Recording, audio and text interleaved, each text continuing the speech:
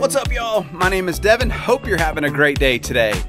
Guys, it's all about Bermuda grass today. And while Bermuda grass isn't technically a weed, if we don't want it in our cool season lawn, I consider it a weed. So if you have it growing in your lawn, you know just how frustrating and unsightly and ugly it is to have that big, fat, ugly weed growing in your lawn. I'm gonna give you three options that you can use to try to control Bermuda grass in your cool season lawn. Really quick, hit that subscribe button, give the video a like, and uh, make sure you share this. Welcome to all the new subscribers to the channel. I am so glad to have you. This channel just continues to grow. I'm super pumped. Let's get into the video.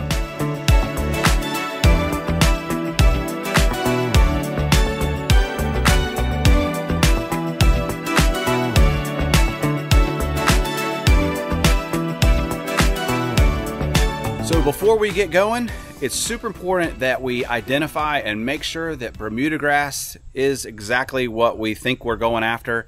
We certainly don't want to be applying products to the lawn, you know, to try to control Bermuda grass, and Bermuda grass isn't our problem. Say it's crabgrass or Dallas grass.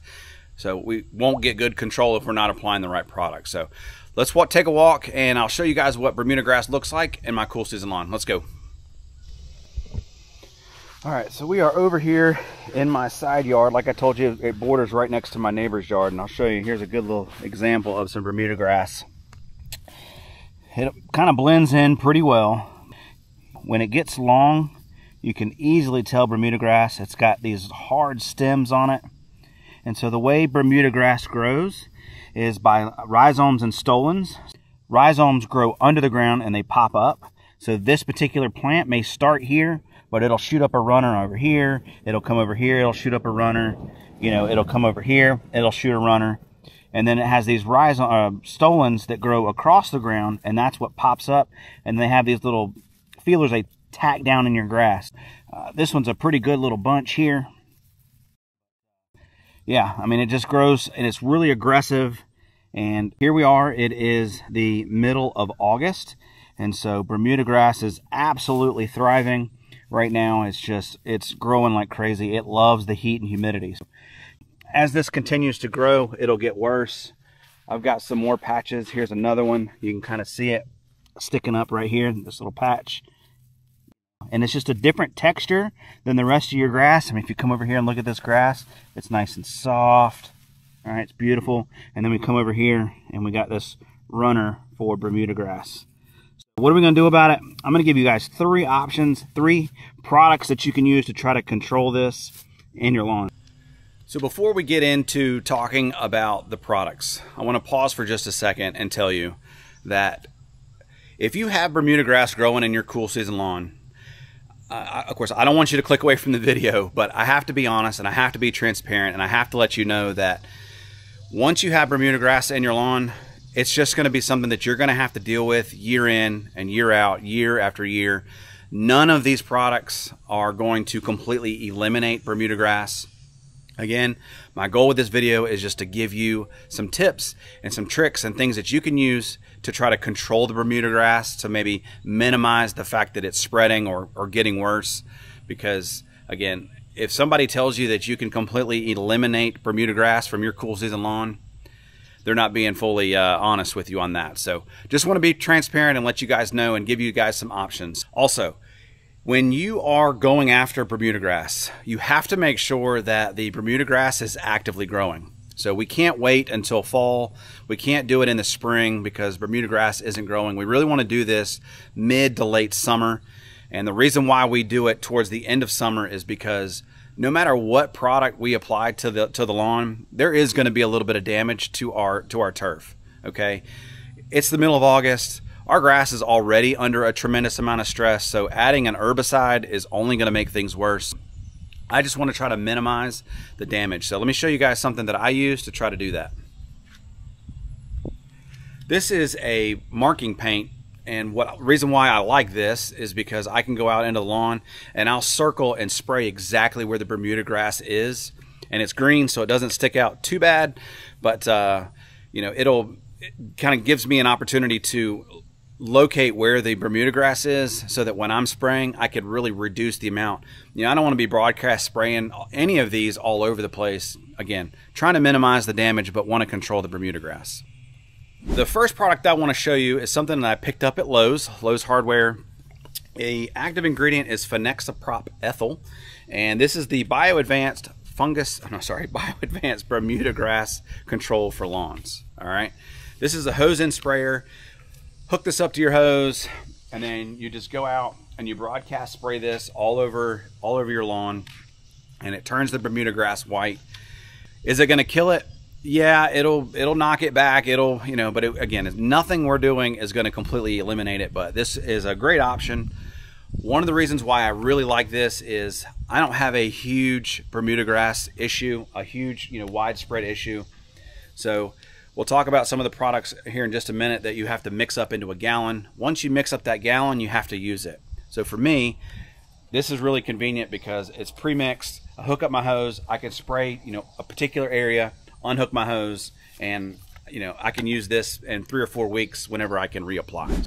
All right, so let's talk about option number two. And unfortunately for many people, this is probably not gonna be an option simply because of the cost.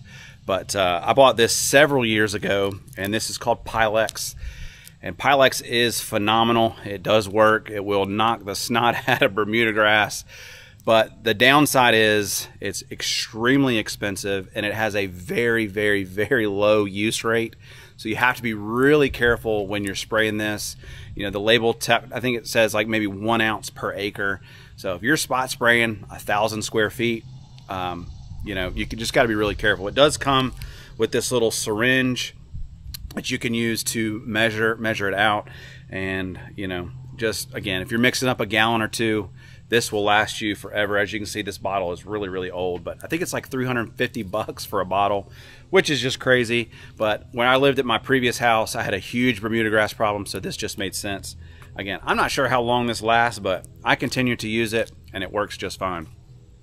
I do want to let you know that if you do look at the label, it does tell you to add methylated seed oil or triclopyr. So let me show you. Let me show you what those look like. So this is Turflon ester or triclopyr, and then this is the methylated seed oil. And to get the best control possible when you are mixing up the Pylex, you want to add in these two ingredients as well.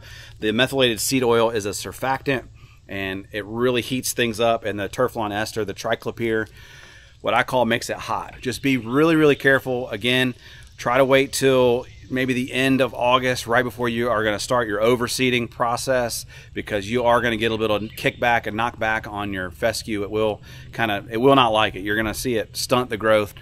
It is going to do a number on Bermuda grass. So this is a great option for you if uh, if you can afford it. Let's look at option number three. So option number three, not really a great option, but nonetheless it is an option, and that is a non-selective herbicide. So again, I mentioned using that paint, uh, you know, to mark your areas. Again, if you were going to do a non-selective, this is what I recommend. Non-selective, it's going to kill anything that you spray it on. So just be extremely careful whenever you're spraying this, but it is going to kill your good turf as well as the Bermuda grass. But sometimes, you know, if you're just kind of clearing out an area or you're doing a renovation and you don't really have an option, this is, uh, you know, this works and it will kill the Bermuda grass as I mentioned before, it's going to come back. It may be two or three years before you see that Bermuda grass, but I promise it's going to come back. Mix this with a surfactant. I like to mix this with a blue marking dye just to make sure that, especially when I'm spraying this in my good turf, also, be very careful where you walk because if you don't want to step in this and then you'll see your footprints track throughout the grass. So just be really careful with this whenever you're spraying a non-selective. So I'm going to hook up the water hose and we're going to spray that Bio Advanced out here in the lawn so we can start getting control of some Bermuda grass. I'm going to throw on some music for you guys to listen to. Let's go.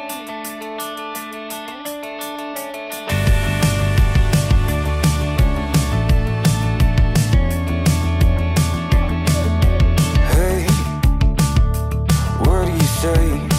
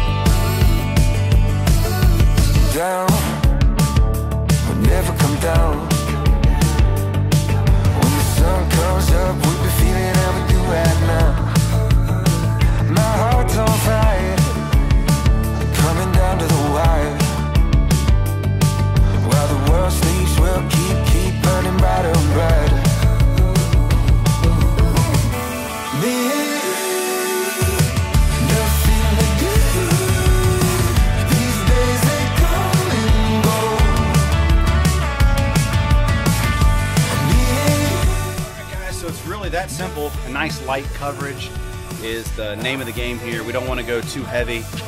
You know, again, we want to try to limit the amount of damage. I'm going to do this probably three different times, so I'm going to wait probably two weeks, and then I'll spray again. I'll wait another two weeks, and then I'll spray again. Make sure you read the label though, because you have to wait um, so long before you can apply grass seed. I'll make sure and review that before I put down grass seed. This is our fourth video in the series. I hope you guys are enjoying it. Again, we covered Bermuda grass today. I've done a video on crabgrass, Poa annua, and nutsedge. So if you're dealing with those weeds as well, make sure you go back and check that out. My name is Devin. I'm the DIY lawn coach. Thank you so much for watching the video and checking it out. Hopefully you guys found this helpful. Give me a like. Make sure you subscribe. Peace.